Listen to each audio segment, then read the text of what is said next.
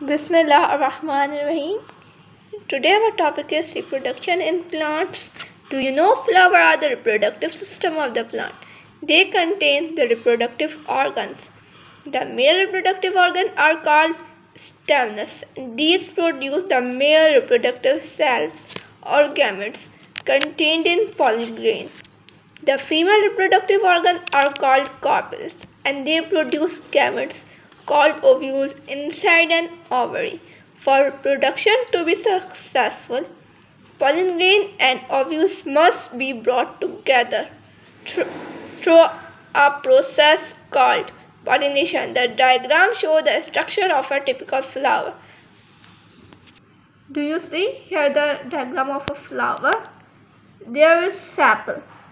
Sepal protect the unopened flower when it is a bud and there is petal. Petals are usually brightly colored and scented to attract insect. There is stamen. Stamen are the male reproductive organs. And last part of, of the flower is nectary. Nectary is where a sugary solution called nectar is made. Insects collect nectar for food. Do you see here the structure of a stamen?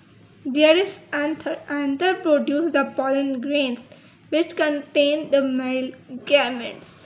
Do you see here the structure of a carpel? There is a stigma. A stigma is the sticky tip of the carpel which collect the pollen grains. There is the an ovary. Ovary is where the female gametes are produced. Hope you understand the reproduction in plant. Allah Hafiz.